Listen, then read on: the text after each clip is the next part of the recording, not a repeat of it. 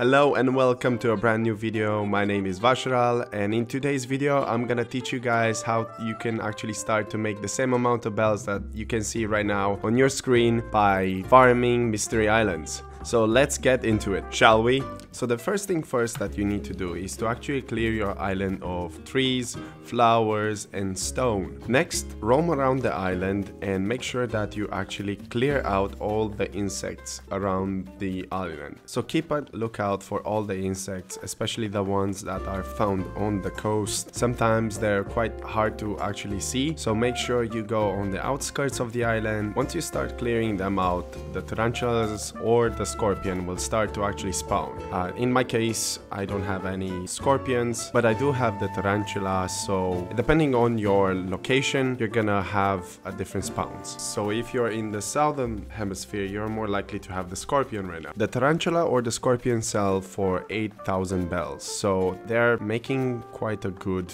buck for your efforts. Second, I want you to prepare your hole traps. I'll explain this one later on into the video on how you can actually use a few methods to actually catch these tarantulas and stay safe. So what I want you to do is to actually place two holes on the side and left and right and one on top and one on bottom.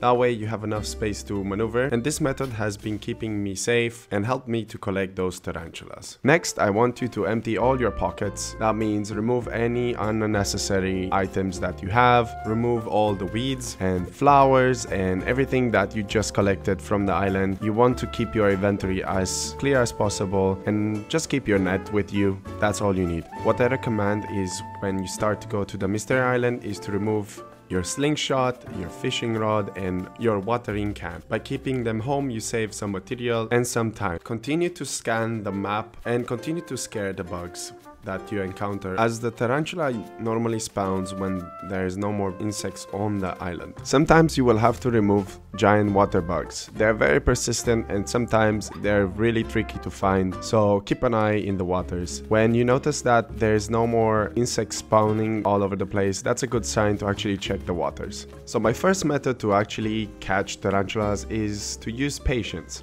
I do this by holding A and whenever I see the tarantula actually approaching me uh, by jumping and you can hear that when um, it makes that boink sound.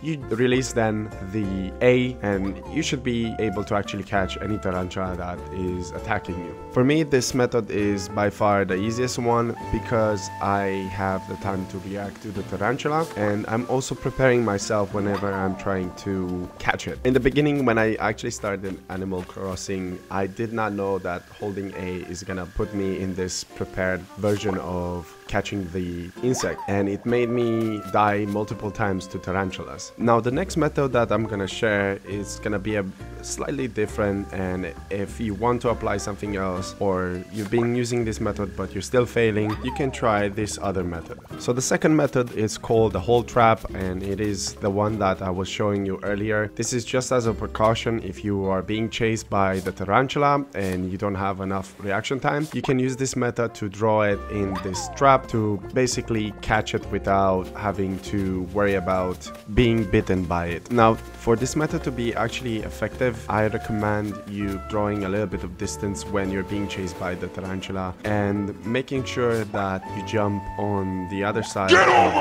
Sometimes the tarantula will be able to actually go through the tiny little space between the upper side of the hole and the two other holes and uh, that could be quite funny and I, I will show you later on an example of what actually happened to me. Despite the fact that I've been using this method more often in this uh, video example, I've been struggling a lot to actually catch the tarantula. She's moving quite fast in a circle manner so you have to time your way when you catch Such it. And if you give quite a lot of time, I believe that the tarantula can go through the hole. So that means that you have a limited time to actually react to it. So make sure that you react to the tarantula in time. Hold A if you can and release it on the time when the tarantula is there. First time when I actually saw the tarantula moving into circles so rapidly, it actually scared me and I started becoming very anxious thinking that the tarantula is gonna find its way into the hole quicker than I actually could react to it. Generally, you have enough time to actually react to it, so about 5 to maybe 10 seconds. I haven't actually tested out to see how long is the tarantula gonna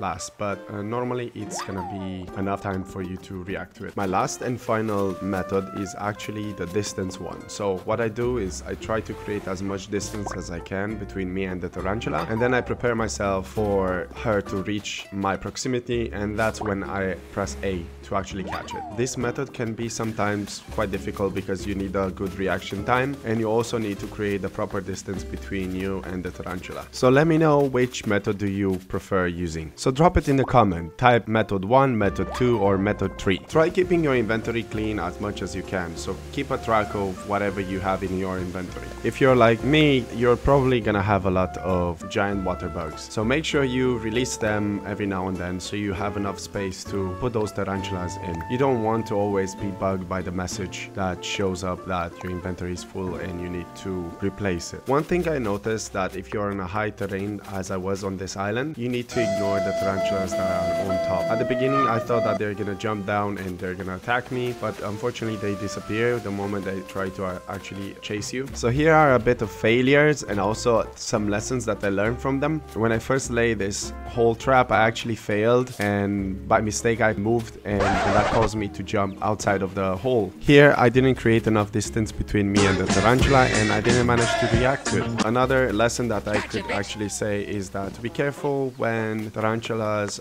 are spawning. Sometimes Bruh. you won't actually notice them. Keep in mind to circle around the trap hole so that way you don't end up like me. Make sure that you pay attention when they pop on the screen. Sometimes you might not notice them and they all of a sudden gonna bite you. Here I'm trying to actually create distance and the tarantula got stuck in the DIY workshop and that confused me thinking that it disappeared. And sometimes the tarantula is just fast enough and it will catch you before you actually enter the hole. Here you have to pay attention on which direction you're actually actually aiming your net. Another thing that I noticed is that when I was being chased next to the river or next to any pool of water, the tarantulas would actually disappear. So make sure that you don't draw them next to the water. Sometimes they simply fail jumping over it. So once you finish and you filled up all your inventory, just pick whatever you need to pick and head out. Do not forget that Nook's Cranny is actually closing at 10 p.m. So make sure that you're there before it actually closes. And that's it guys. Thank you very much for watching and, and I hope that this video brought you value and as well a lot of bells. So don't forget to subscribe, like and comment on this video and hit that bell notification to never miss a thing. So yeah, thank you once again for watching. I'll see you guys on the next video. Bye!